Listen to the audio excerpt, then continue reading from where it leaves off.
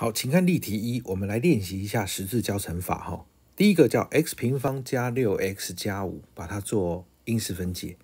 先看二次项，二次项是 x 平方拆成两个 x。好，接下来我们要拆常数项喽。常数项是五，找两个数字乘起来是五。那乘起来是五呢？其实它蛮容易的，就是一跟五。那中间是六哈，请注意中间是正六。请特别注意一下，既然是正六，两个数字乘起来是五，加起来是正的六，所以这两个数字呢都是正的，正一跟正五。那你说对不对呢？我们来十字交乘看看，一乘以 x 写在下面一个 x，x 乘以五加五 x，加起来等于六 x。这个六 x 呢跟中间的一次项一不一样呢？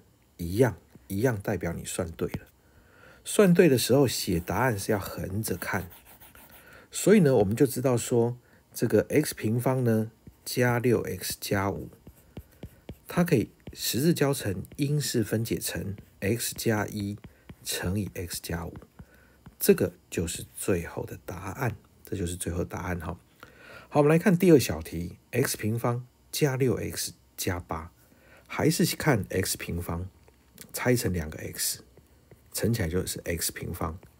好了，最后再看常数项，乘起来是八，加起来是六。乘起来是八，加起来是六。你看这个八哈，八可以等于一乘以八。既然要加起来是六，所以它不可能是负的。一乘以八是八，二乘以四是八。好了，那你要找这两个数字加起来是六，一加八加起来是九。二加四，哎，加起来是六，所以我们就知道你要拆成这两个数字是二跟四，正二跟正四。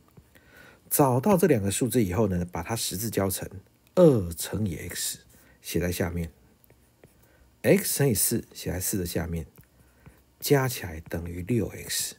好喽，那你看看，你比较一下看看哈，这个算出来的六 x 跟中间这个一次项一不一样？一样。